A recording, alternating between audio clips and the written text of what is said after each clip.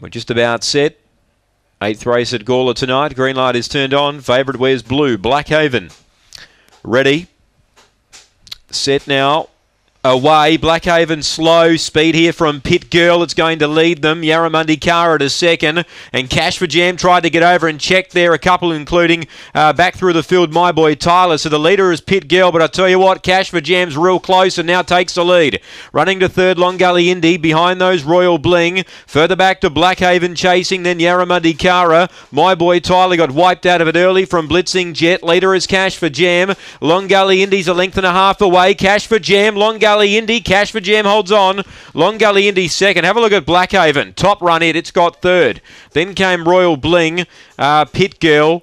Blitzing Jet, Yarramundi Kara, and my boy Tyler was completely sandwiched early and it was last in. Eight cash for Jam gets the money. Number eight, too good here. Number eight, the winner, cash for Jam for Bob Isaacson. Has held off Long Gully Indy number three and four Blackhaven. Gee, it was a good run, the fave. It's grabbed third, and Royal Bling will get fourth, number seven. 31.38 the time. They've come home in 15.07. And uh, Cash for Jam, who was uh, probably the, the main instigator, I guess, of checking a few early on. He wanted to get down to the rail, and he did that. And when he got the second down the back, he was going to be mighty hard to beat. And he's been able to uh, cling on to win from Long Gully Indy and Blackhaven. A length and a quarter by one, eight, three, four, seven, and we just need the all clear to tidy up race eight.